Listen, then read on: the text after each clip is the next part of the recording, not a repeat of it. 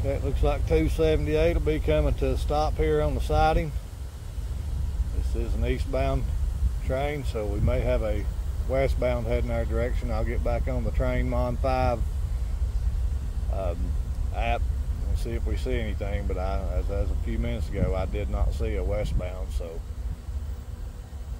who knows? They may be out of time on this one, or going to do a crew change or something. East Tennessee Rail Ray. Thank you for watching.